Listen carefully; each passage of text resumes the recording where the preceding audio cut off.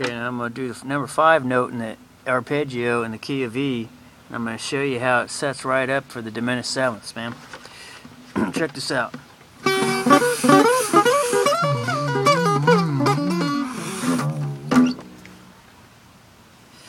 See that? Let's do that again.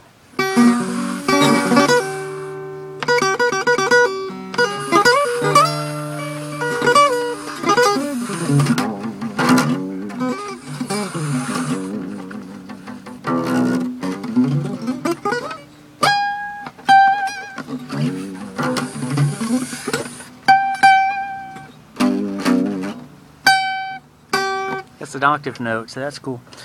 Something new I learned, but this is what it is. And the five is E is right here. Here's number five blues box where everyone does their thing. Well, three notes per string.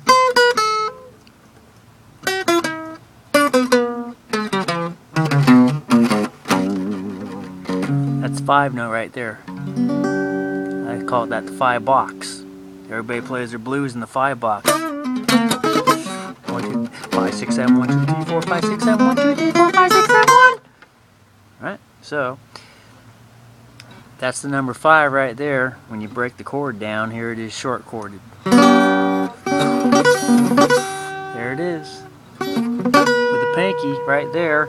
And that note right there. So that note right there is the diminished seventh. Blues box. So all you gotta do is just slide down one fret and you're already at the harmonic minor diminished seventh.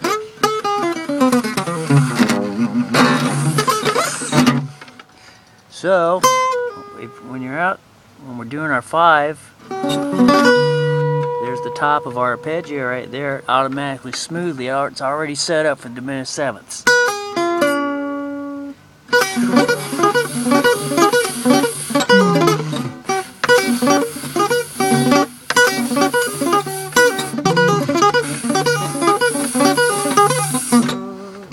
how good it sounds? So that's that. Well, we'll make it till three minutes, so let's just play around with it some more.